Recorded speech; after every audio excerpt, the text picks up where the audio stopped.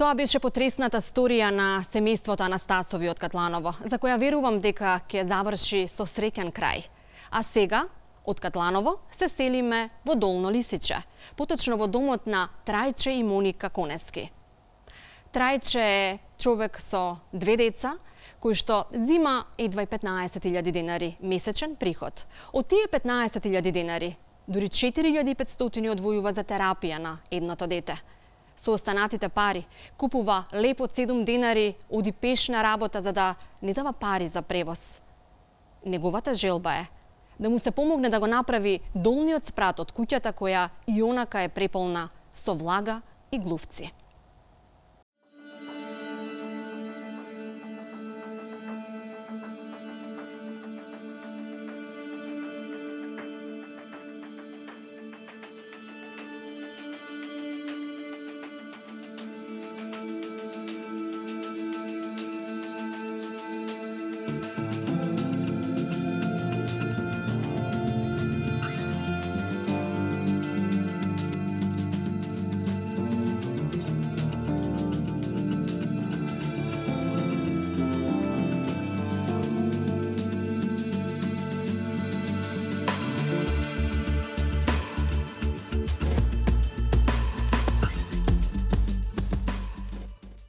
Велат, секоја планина има своја тежина. А тежок ко планина е и животот на Трајче Конески од Долно Лисиче, кој има 39 години. Роден е во трошна куќа од минатиот век на неговиот дедо. Израснат и школуван, во неа го создава и првото дете пред 6 и пол години, кое не знае ниту како изгледа.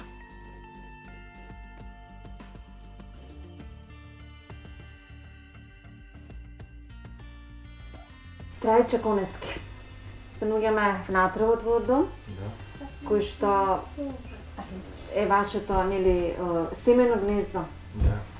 Тука живееш со Моника и со двете деца. Двете деца. Дали тука поминува целиот твој живот?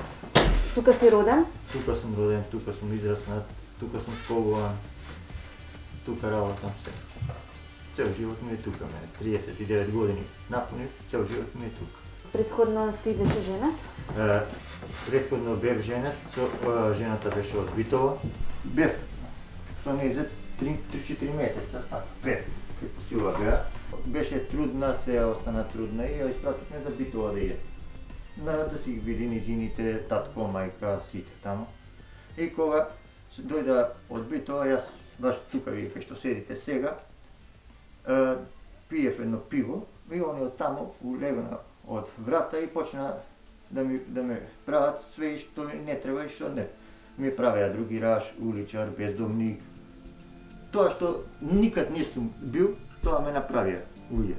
И тогаш ја влегов со господјата унатре и ја прашав, сакаш со мене да бидеш, сакаш со нив? Со нив сакам. А предходно ја вработивме, се вработи тука у Скопје, И кога мајка и сестра и татко и вика рекоа зошто вика да работиш ние ќе ти даваме плата седи си дома.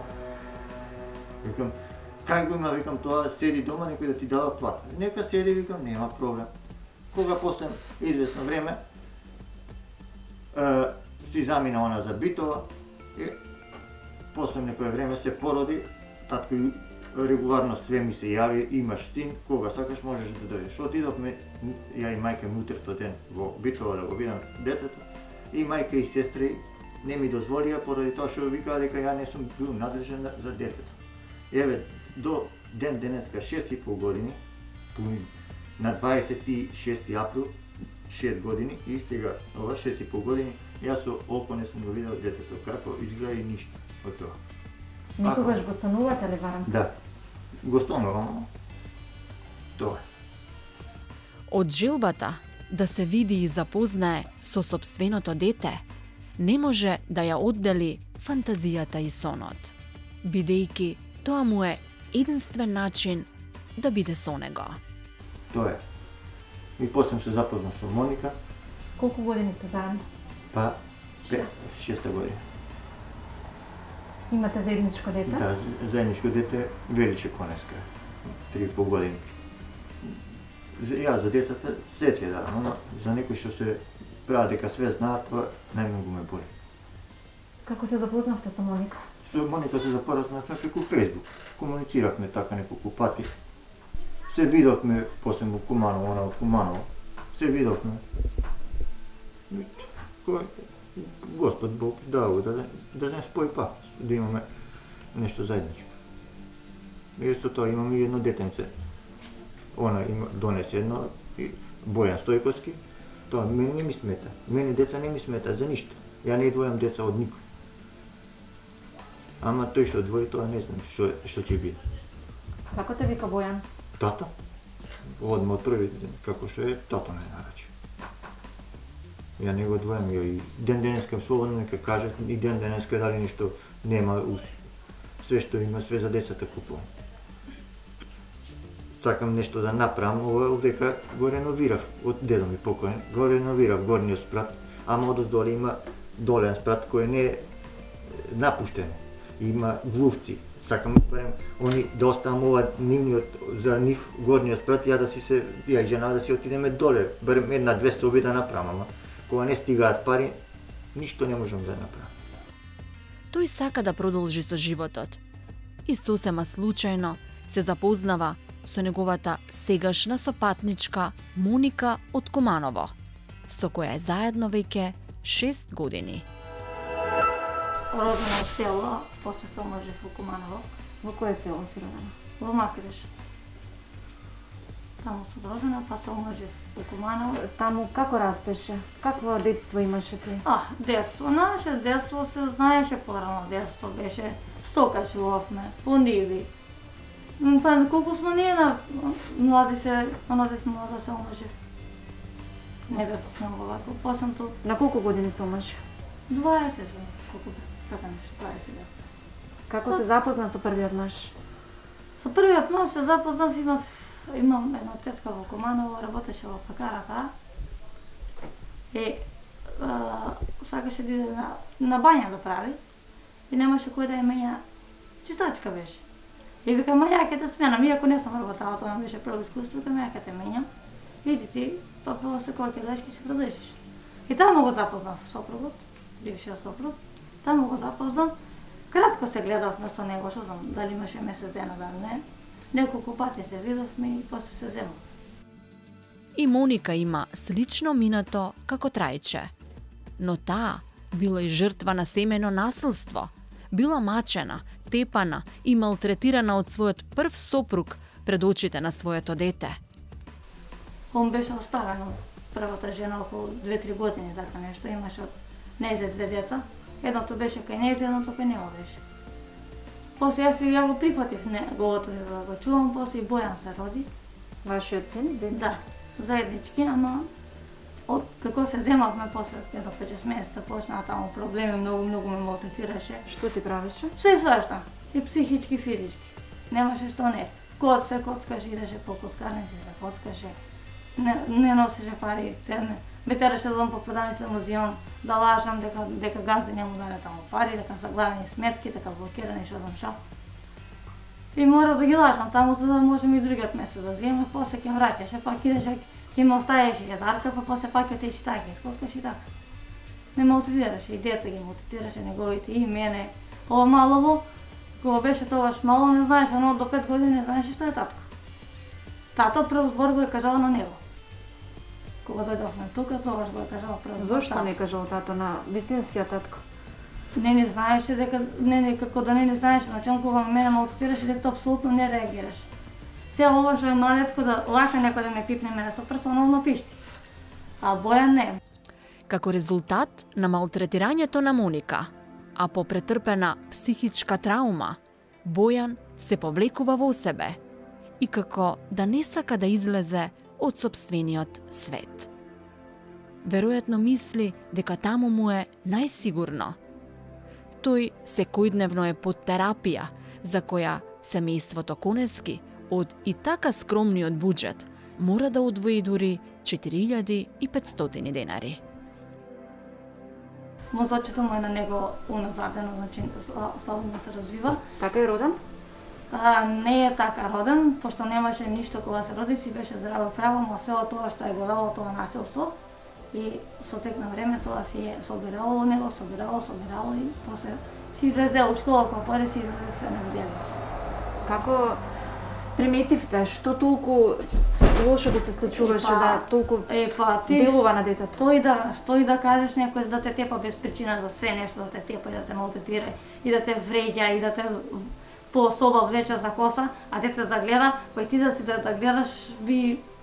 Што би направил она расстројство што се вика?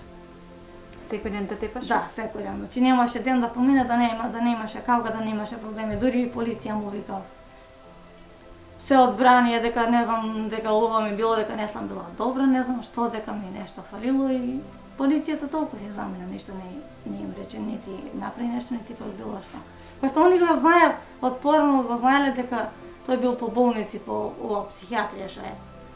Бил таму лежел и бегал неколку пати и не ни презимаа нешто. Апсолутно ништо не презимаа. Го тепаше ли детето?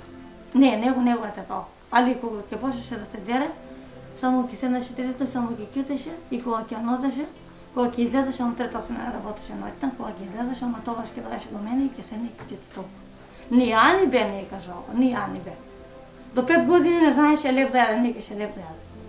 Само цицаше и смок и репче со шеќерче можда некогаш ќе каснаше, 20 дена нема иче да. Апсолутно иче.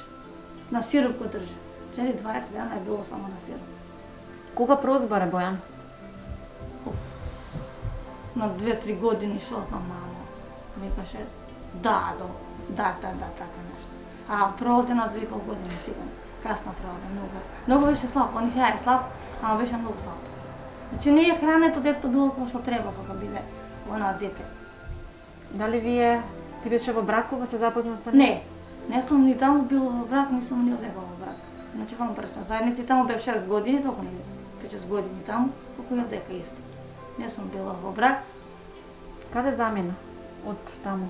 Од, Од таму заминав кај сестра ми. 20 дена седев кај Нежен и после тука си дојдов дека Скопје. Но во куќа од 30-тите години од минатиот век, ни тука немаат мир. И на овие години се уште се под притисок од родителите на Трајче. Што се помогне со, Што да се помогне? реновирање? Што за кое реновирање? Кажав ја уште неќе. А што ќе реновираш ти од? За доле да се реновира. Долниот А доле доле ако се реновира треба да се однаде, а не да кажуваш доле. баби ми девете. Добро ќе се види тоа. Готово. А Трајче се труди, работи, сака да придонесе, но зарем со десетина илјади може да се сврзе крај со крај, да се обнови веќе полуурнатиот дом. Плод на вашата љубов е и Велич, која Да. има 3,5 години. Да. Иако скромно, сепак е растана со љубов. Да. Како се како е поврзана со Бојан? Супер. Си играат. Си играат, кога Да. се скараат, Никој ќе се стекаат. Како Како деца. Дечкото става сега, нон стоп 10, така си игра. Дали сите овие години работиш? Да, работам. Работев во една градежна фирма, како чувар и сега работам во една друга фирма исто како чувар обезбедување. Со тоа и, и државам и фамилија се.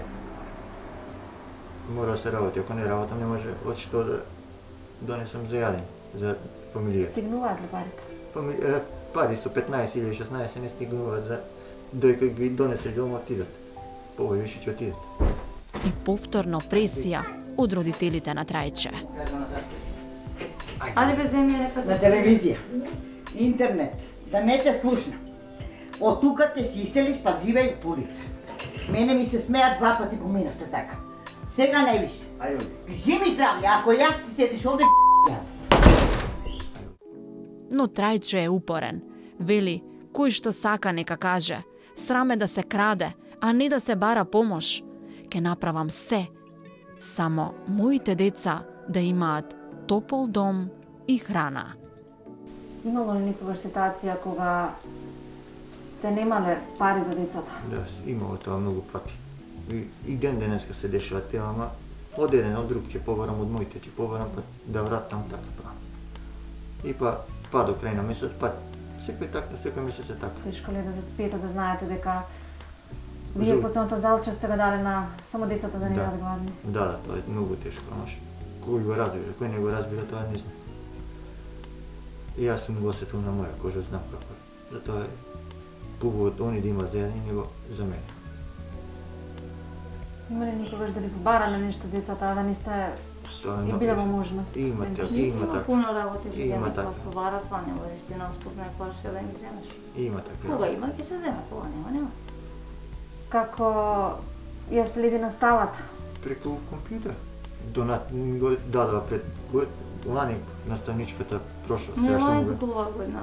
Баш кога Така заврши. фати коронава, ни го даде наставничката прош, што и беше до пет оделение, ни го даде компјутер за да може да да следи настава, иначе нема како. Како ќе следи настава, па нема пари основ да му купам компјутер. Затоа, Трајче ги моли добрите луѓе да му помогнат, да ја подстегне куќата, макар долниот спрат, за да може полесно да живее со семејството во останатата половина од животот. Трајче ми кажа вчера ти било роден ден. Мало внимание од телевизија Алфа за тебе и за твоето семејство. Подароци за да може да поминете барем неколку дена со храна и со средства потребни за хигиена. Ова се подаруците што Алфа телевизија ги дарува на вашето семејство. Ковели?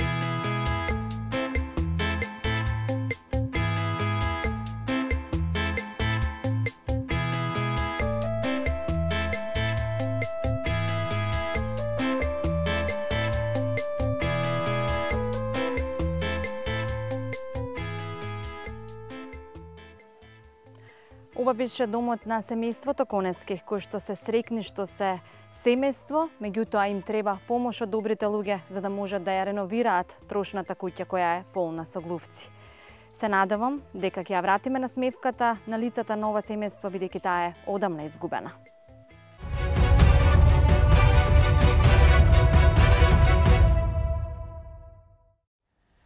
Порано куките беа од камен, а срцата од злато. Денес куките се од злато, а срцата од камен. Овие луѓе ги ставија своите срца на дланка и ни ги раскажаа своите тажни приказни за кои искрено се надеваме дека ќе имаат среќен крај. Ако можеме, да помогнеме, бидејќи нашето малку некому може да значи се.